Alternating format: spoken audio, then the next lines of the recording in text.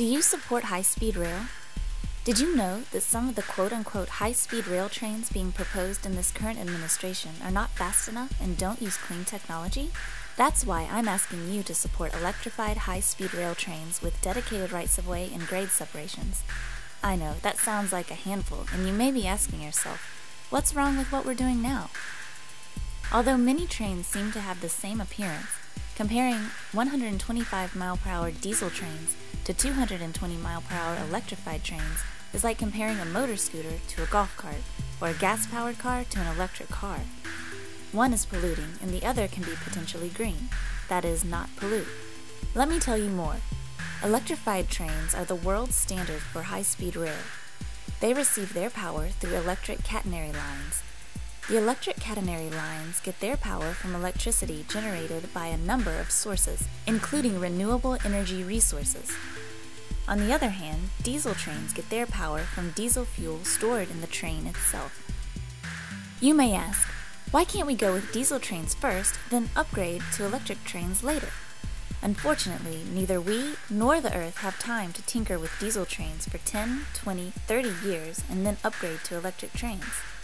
We need to prepare for an oil depleted society where we can't depend on oil as much as we did in the 20th century to power our transportation. We are already past peak oil production. The proposal for diesel trains are remnants from the early 90s, a time when Amtrak's survival was being threatened and train usage was low compared to the pre World War II era. It is now a different time. We are confronting climate change and oil depletion in an economic period where the fast movement of goods and people are critical if we are to be competitive on the world stage. The US needs to have another option when gasoline reaches $6 a gallon or more. High performance electric trains are far superior in reliability, safety, and smoothness of ride than diesel trains. Besides, it is predicted that once the already approved electrified line from San Francisco to Los Angeles is open, riders will not want to go back to older and slower technology. So why waste our time with old technology? Let me tell you about the diesel train's GPS type tracking system, which uses the human eye for train control. According to tests done in Europe's TGV system, it just so happens that the human eye can only judge oncoming trains in difficult conditions of fog, snow, or rain at up to 125 miles per hour. With electric trains, the train is controlled by a continuous information transmission, which is transmitted back to a centrally located station.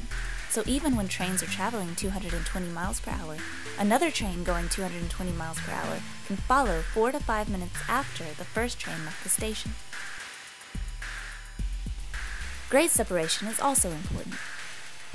These are examples of grade separated crossings, and these are examples of on-grade crossings. You can see here that the grade separated crossings allow for virtually no collisions compared to on-grade crossings. Grade separations also allow for unimpeded access for both trains and cars. Dedicated rights of way are also important. Many train operators need to be able to access the tracks in order to allow for businesses to compete on a level playing field. What if the infrastructure was separated from trains altogether? The infrastructure can be owned by a private company, similar to a condo association, where a development agency owns the property and individuals own the condos on the property. To conclude, please think about supporting electrified high-speed rail trains with dedicated rights of way with grade separations. We don't have time to wait.